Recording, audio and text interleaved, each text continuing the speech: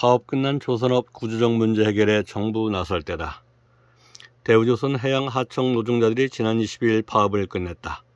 만 50일간 겪은 극한의 고초에 비하면 합의한 내용이 노동자들에게 결코 유리하다 할 수 없다.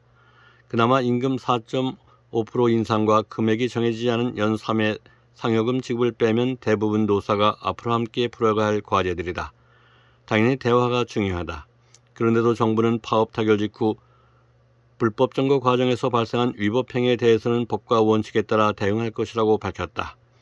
대화 분위기 조성과는 거리가 멀다.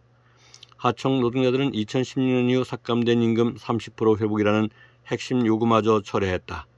조선업계에 만연한 부조리를 바로잡지 않으면 임금 문제도 풀리지 않는다는 인식이 반영됐다. 세계 1위를 다투는 우리 조선업계의 실상은 다단계 업계나 다름없다. 하청 노동자들이 최저임금 수준의 시급을 받고 중노동을 하는 구조의 정점에 대우조선 해양 같은 원청 업체가 있다. 개별 하청 업체를 상대로 아무리 임금상을 요구해봐야 원청 핑계에 막히기 일수다. 불황기로 접어들기가 무섭게 임금이 깎이고 호황기엔 가장 늦게 빚이 드는 것도 이런 구조 때문이다. 하청 노동자들의 절박한 요구는 조선업계에 울리는 다급한 위험 신호이기도 하다. 하청 노동자들을 고용한 하청업체 가운데 파업 전부터 임금을 체불하고 4대 보험료를 장기간 내지 못한 업체가 한둘이 아니라고 한다. 현장 인력이 빠르게 노령하는데도 신규 인력을 구하기도 쉽지 않다. 조업을 사실상 떠맡고 있는 하청업체의 위기는 원청업체를 넘어 조선업 전체의 위기로 이어질 가능성이 크다.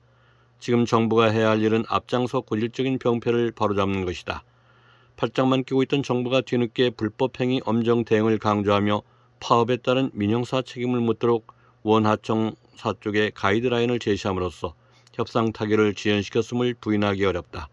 정부는 파업 노동자들에게 민형사 책임을 가혹하게 묻는 것과 반대로 경영계에는 경제 형벌 규정을 없애거나 행정 제재로 전환하겠다며 선물 보따리를 풀고 있다. 공정한 중재자로서의 책임을 저버린 채 기울어진 운동장을 더욱 가파르게 만들겠다는 선언이나 다름없다.